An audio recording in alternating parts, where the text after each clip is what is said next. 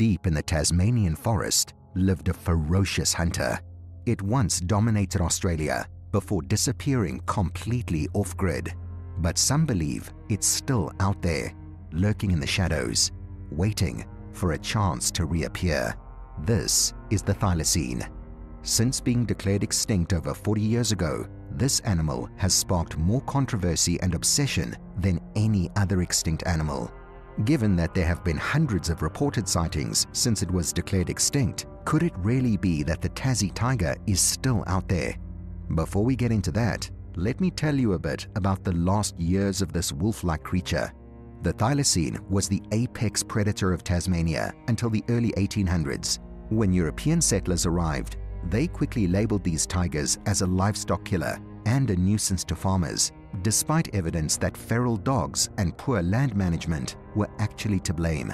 This labeling led the Tasmanian government to introduce bounties of £1 for adult thylacines and 10 shillings per juvenile. Estimates suggest that approximately 3,500 thylacines were killed by humans from 1830 to 1920. However, given the numerous sightings and the fact that Tasmania is widely regarded as the last stronghold for the thylacine, with many areas inaccessible to humans, the possibility remains that it could still be out there. Now, if you've ever been interested in the Tassie tiger, you might have seen footage of Benjamin the thylacine, also known as the Tasmanian wolf due to its dog-like appearance. Thylacines are actually marsupials. Their dog-like look is a result of convergent evolution, where different species develop similar traits to adapt to similar environments. This is why Benjamin and other thylacines looked so unique. In the 1930s, Benjamin lived in the Beaumaris Zoo in Hobart, Tasmania, he stayed healthy in captivity until a cold night in 1936 when he was locked outside without shelter and died. The zoo owners advertised and tried to hire trappers to find another thylacine, but none could be found. People soon realized the species was extinct. However, reports of thylacine sightings have continued up to the present day. Some 1,200 or so sightings prompted Barry Brook, a mammal ecologist at the University of Tasmania and his team to create a database. From this, they published a paper suggesting the thylacine may have survived into the late 1990s or early 2000s. The paper even states, though improbable, data and modeling suggest some chance of ongoing persistence in the remote wilderness of the island. Brook's team assessed sightings, considering the possibility of fabrication or mistaken identity, giving higher credibility to sightings by scientists or multiple witnesses. Using this model, they concluded that the thylacine likely went extinct closer to 20 years ago, or possibly not at all. They believe a few might still exist in the difficult-to-access regions of western and southwestern Tasmania. While this is exciting, not everyone shares this view. Ecologist Colin Carlson published a paper in 2017 arguing that the survival of the thylacine is extremely unlikely he believes they likely went extinct between 1936 and 1943, or at the latest by 1960. So, do we have any physical evidence to support these sightings? Well, there are various videos claiming to show a thylacine long after 1936. Even more surprising, many of these videos come from mainland Australia, where the thylacine supposedly went extinct 2,000 years ago. But before we talk about the mainland sightings, let's look at some notable reports from Tasmania. One of the most famous sightings comes from wildlife ranger Hans Naarding in March 1982 in northwestern Tasmania. It was a rainy night, and Hans was asleep in his 4x4 on a remote forest track. He woke up around 2 a.m. and, out of habit, stuck his hand out of the window to swing his spotlight around. The light came to rest on a thylacine about 20 feet in front of his vehicle. Hans had his camera, but as he reached for it, the thylacine walked off into the bush. There are a few notable things about this sighting. Using Barry Brook's method of determining the validity of a sighting, this one checks some important boxes. The animal was close to the observer, the sighting lasted a few moments, and most importantly, it was made by a wildlife ranger experienced in identifying animals in the Tasmanian forest. The only thing that could have made the sighting better would have been additional witnesses and better lighting conditions. This sighting was taken seriously. By the next night, National Parks officers had set up cameras, which operated for three months without producing any results. Over the next 15 months, expert tracker Nick Mooney tried to find paw prints, but again, no evidence was found. The investigation was kept secret for two years until it was announced, unfortunately, without results. This wasn't the first search for a living thylacine. From 1967 to 1973, zoologist Jeremy Griffith and dairy farmer James Malley conducted one of the most intensive searches. They surveyed the west coast of Tasmania, setting up camera stations, and investigated new sightings quickly. But they too found no evidence. Finding a thylacine would be difficult even today. Tasmania is often compared in size to Ireland or Switzerland. However, while Switzerland has a population of 8.7 million and Ireland has over 5 million, Tasmania has about 540,000 people. About half of Tasmania is forested, making it hard to capture a rare animal on camera, especially with the less advanced technology of the 70s and 80s. On the other hand, as time has passed, more people have searched for the tiger in a place where the forest has shrunk, and we still don't have any concrete evidence they are still there. You can look at it from different angles, but many videos and documentaries on the thylacine show that large parts of Tasmania remain very remote. There's an interesting documentary on YouTube by Rob Parsons where he travels to the southwest coast of Tasmania. In 1938, loggers in this area regularly saw thylacines. Without spoiling the documentary, it shows how isolated and wild some places still are. Searches are not limited to the Southwest. In Search of Real Monsters, Adventures in Cryptozoology Volume 2, cryptozoologist Richard Freeman discusses his trips to find different cryptids, including multiple trips in search of the thylacine. He kept the exact locations he and his team searched a secret, but they explored the northeast part of the island on their first trip and more central areas on the second. Both locations were described as very remote and off the usual paths. What makes Mr. Freeman's approach unique is that he combines traditional methods like setting up camera traps, casting footprints, and collecting samples with interviewing numerous eyewitnesses. These aren't just people who think they've seen a thylacine, but also those who believe they've heard its call. Although there's no recording of a thylacine call, witnesses describe it as a distinctive three-part yap, yip yip yip, somewhat similar to a sugar glider, but still different. Mr. Freeman even shared his own experiences of hearing what could be thylacine calls. Now, the fact is, the thylacine is so important to Tasmanian culture that two of them appear on the state's coat of arms. Freeman's book is packed with information about this creature and makes for an engaging read. Before moving on, I want to mention two interesting facts about the thylacine that might be relevant to our discussion on sightings. There are reports of thylacines with very faint or even no stripes. Additionally, thylacines grow a thicker, shaggier winter coat during the colder months, similar to a fox. This may be surprising to some because people always picture them with short hair and prominent stripes, probably due to the famous footage of Benjamin. Speaking of Benjamin, many sources, including the National Museum of Australia, Wikipedia, the New York Post, the Times UK, the Smithsonian, Australian Geographic, the Thylacine Museum, and various YouTube videos state that the last thylacine was a male named Benjamin. However, this information originated from a single man, Frank Darby, who told the Melbourne Press in 1968 that he was the last curator of Hobart Zoo and that the last thylacine was a male named Benjamin. He also claimed thylacines were mute, which isn't true, and that they used to feed him live rabbits as a public show. Well, it turns out Frank Darby never worked at Hobart Zoo Tasmanian reporters found a woman named Alison Reid, whose father ran the zoo until his death in 1935, and she also worked there. She confirmed that no one named Frank Darby was ever employed at the zoo and was offended at the idea that they fed live prey to their carnivores as a public spectacle. And lastly, the last thylacine was a female, confirmed by her remains. Many websites and YouTube videos claim that the last thylacine was a male named Benjamin, but this is inaccurate. According to records, the last thylacine was an old female captured in May 1936, who died in September 1936. Interestingly, the most recent footage of a thylacine was supposedly filmed in 1935, indicating that the famous footage might not actually feature the last known thylacine.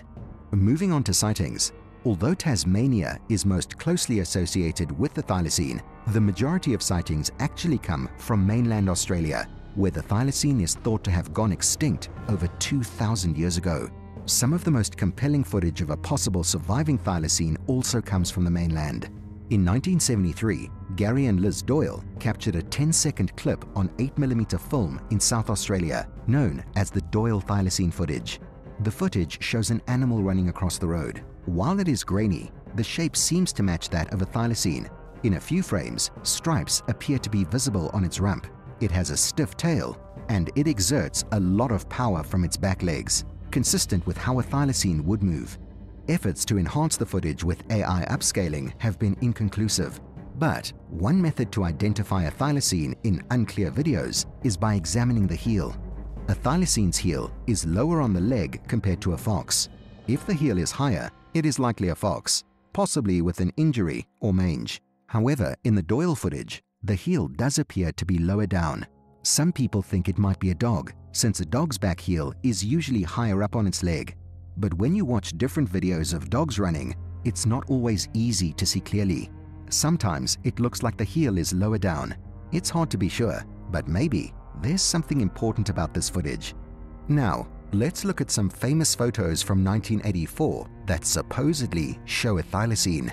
Kevin Cameron, a tracker, was hired to search for a thylacine in Western Australia after many sightings were reported there. He spent three to five months looking and took five photos that seemed to show the back of a thylacine digging a hole.